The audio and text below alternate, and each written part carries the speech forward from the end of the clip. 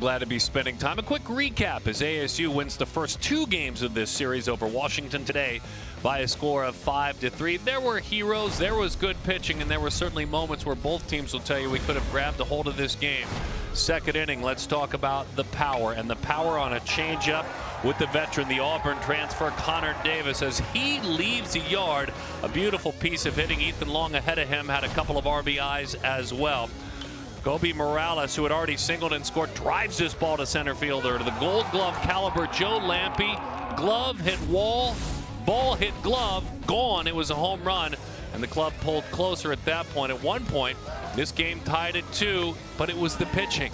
It was the pitching of Tyler Meyer that allowed his team, while things were tied at two, for ASU to separate, to pull away until the ninth inning when Brock Peary came on.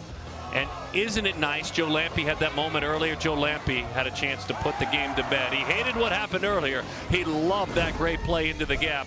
Big swing, big power of Michael Snyder, who had homered a couple of times in game one. Some of the heroes you see Meyer, Ethan Long is having a massive series, and ASU could have made it more as they stranded 10. Washington struggled defensively day two, and certainly not nearly what they did night number one and put it back together. They hope to play a clean game and they hope to grab one. ASU, on the other hand, is looking to sweep. I'm Darren. That's a quick recap of game two goes to ASU.